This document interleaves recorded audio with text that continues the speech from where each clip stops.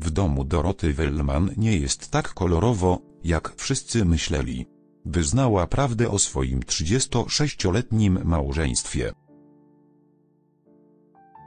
Dorota Wellman należy do wąskiego grona gwiazd, które, choć pozostają w związku trwającym kilka dekad, nie mają na koncie skandali.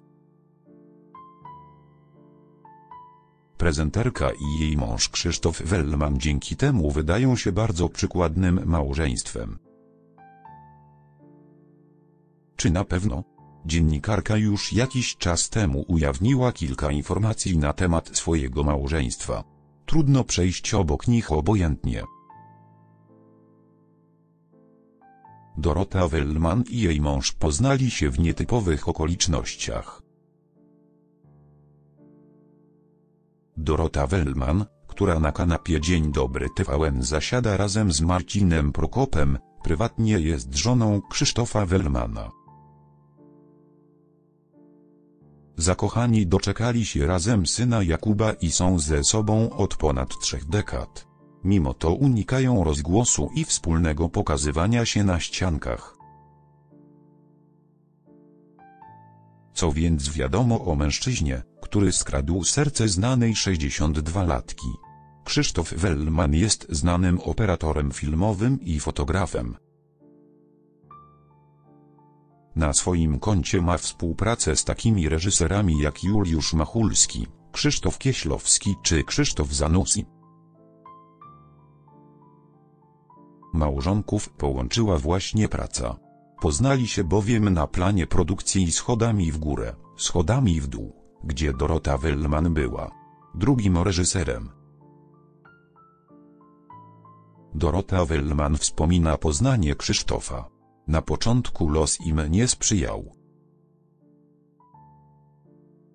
Kropka ubrany był na zielono, miał duży nos i burzę ciemnych włosów. Był też duszą towarzystwa.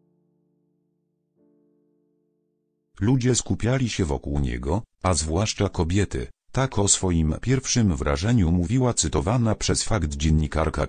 Krzysztof Wellman w tym czasie się rozwodził. Ich znajomość opierała się wyłącznie na przyjaźni. Wszystko zmieniło się, gdy poprzedni związek mężczyzny oficjalnie się zakończył. Ślub z Dorotą wziął w 1988 roku. Zakochanym zależało na tym, by szybko zostać rodzicami. Pomimo komplikacji w 1993 roku na świat przyszedł zdrowy syn pary, Jakub. Choć miłość Doroty i Krzysztofa brzmi niemal jak pomysł na film. Ich związek nie jest kolorowy. Pomimo wspólnych trzech dekad, nadal zdarzają się im poważne scysje. Nieustannie toczymy walkę o dominację, choć nie rzucamy w siebie talerzami. Nie ma u nas cichych dni, pakowania walizek. To związek, w którym ciągle się gotuje, jak w tyglu, bo muszę czuć w mężczyźnie opozycję do mojej wariacji. Kogoś, kto mnie ściąga na ziemię. A Krzysztof taki jest. Męski, trochę despotyczny, dzielny, stanowczy. Słowa dziennikarki zacytował fakt. Dorota Wellman spełnia się nie tylko w pracy. Ma ważniejszą rolę.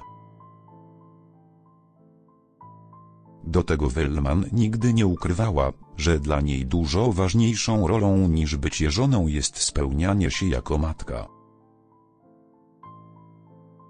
Dobrze mieć odpowiedniego faceta, ale żyć naprawdę warto dla dziecka. Dla mnie najważniejsze w życiu jest to, że mam dziecko. To jest moja rola na tym świecie. Innej, ważniejszej, nie mam. O moich programach ludzie szybko zapomną mówiła gospodarz znanego programu śniadaniowego.